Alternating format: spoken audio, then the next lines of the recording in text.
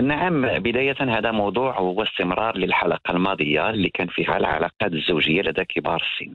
إحنا مازال مستمرين تقريبا في نفس الموضوع.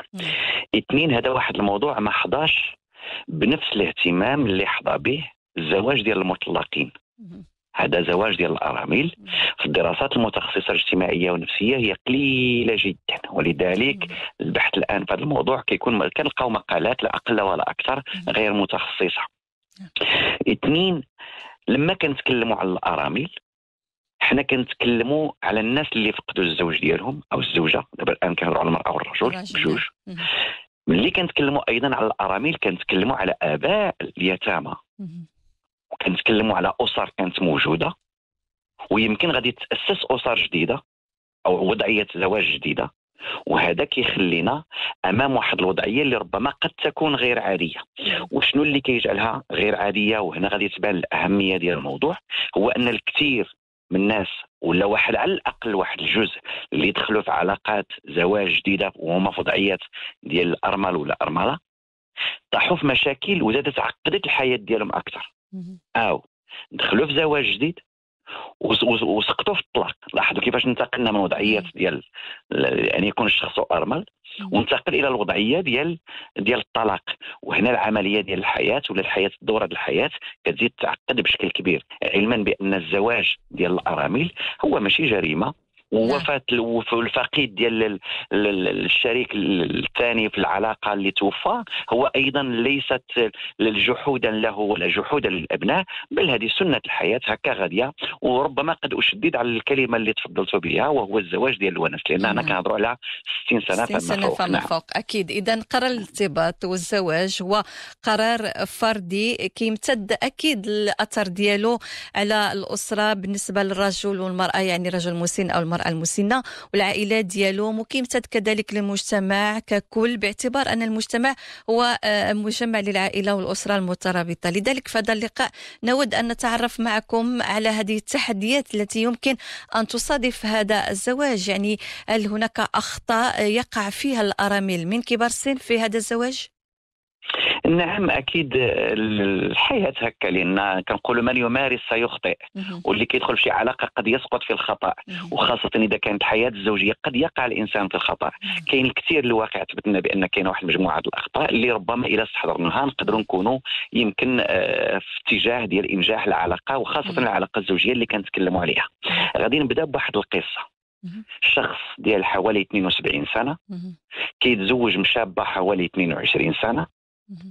انتهى الأمر بمدة قصيرة من بعد الزواج. استطاعت تاثر عليه وتقنعه كتب لها الأملاك كلها. من بعد مدة طلبت الطلاق. انتهت القصة الزواج. انتقل من الوضعية ديال الحياة الأسرية اللي كان كيتمنى الاستقرار فيها فإذا به في الضياع في الشارع. وهادشي تناولته وسائل الإعلام بواحد الشكل كبير جدا. المشكلة الآن هنا إلى قدرنا نخرجوها وهي صغيرة جدا. هو الزواج ديال الأرامل من الشريك الثاني دابا الآن ولا من الطرف الثاني اللي غادي ندخلوا معاه في العلاقة. الزوجيه بواحد الفارق ديال واحد العمر كبير جدا. هنا كنتكلموا على أجيال. راه بعض الأحيان خمسة ستة الأجيال ما بين الرجل والمراه وهذا غادي يعطينا ربما حياة اللي غير عادية. يمكن ربما تنجح في حالات ولكن ما كتنجحش في حالات كثيرة. جوج لقينا أن المجتمع ديالنا كينتقد بحدة. نعم. وهذا الشيء خصهم يستحضروها. هادوك اللي كيتزوجوا من الناس اللي كيقدموا العزاء. اللي جاي يقدم العزاء من ثم فين كيتم الاختيار ديال الزوج؟ وهذه غالبا كتوقع عند الرجال وهذه الانتقاد الاجتماعي كبير والآثار ديالها على الوليدات والآثار ديالها على العلاقات والآثار ديالها في الحياة العامة إلى آخره. لذلك هذه غير الاستحضار ديالها. هي ماشي بدرجة مشكل نعم. لأن بعض الأحيان كتكون ضرورة ولكن ممكن نستحضروها بشكل كبير. أيضا الزواج ديال الأرامل في هذه الوضعية بحال ديال كبار السن ما كيستحضروش الفارق في العمر من خلال التفاهم من خلال الميولات من خلال الطباع من خلال العادات ومن خلال الأذواق إلى آخره. وهذا كيزيد يعقد لنا الحياة ديال الزوجية إلى آخره. اختلاف الغاية من الزواج أش بغيت؟ دابا تصور واحد كيكون كيقلب على الاستقرار ولا كيقلب على اللونيس في الحياة ديالو وحدة إذا افترضنا كتقلب على وليدات وكتقلب على هنا اصطدام الغايتين. شنو غادي يعطينا؟ إما يعطينا الطلاق إما يعطينا مشاكل أخرى كتعقد إلى آخره. أو الدخول للزواج وفق واحد المبدأ ديال إملاء الفراغ. علاش بغيتي تتزوج وهذا عندنا هذه الحالات؟ بغيت نتزوج غير باش ما نبقاش بوحدي. نعم. نعم. الغالب. هنا نعم. آه، في الغالب نعم. هذا الكلام هذا شنو كيدي؟ ما خ... ما عطاناش ذاك النية اللي كما كيتكلم عليها الله سبحانه وتعالى والإسلام ديالنا والحياة الإنسانية بشكل عام. ما داخلينش للزواج بك لأن راه تجربة زواج. ماشي تجربة ديال املاء الفراغ ولا خصها تاخذ البعد ديالها. الطبيعي اللي يفترض أن يكون إلى آخره.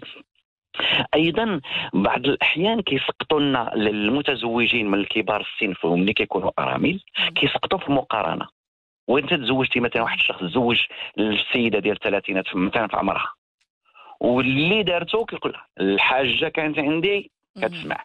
المرأة الأولى كانت طيبة أنت كتردي لاحظ هذه. المقارنة هذه. شنو ممكن تأدي؟ ما يمكنش تعطي استمراريه للحياه الزوجية إلى آخره. أو بعض الأحيان شروط تعجيزية. شروط تعجيزية تدميرية. راه هذه اللي قبلت الزواج بواحد كبير في السن أو وحدة. راه داخلين كاينين عندهم وليدات ومن الشروط التعجيزيه هو أن تخلى على وليداتك. هذوك راهم يتامى أو تبعدني لمدينة أخرى وتخلي هادو هنا وتطرد إلى آخر الأشياء. هذه المشاكل هذه وغيرها بطبيعه الحال. كتكون يمكن جزء من تعقيد الحياة وعوض أننا نبنيو حياة ربما جديدة ولا نسميو الزواج ثاني ولا نعم. ما عرفت بشي صيغة اللي تكون فيها سعادة واستقرار وأمان وسكينة كما.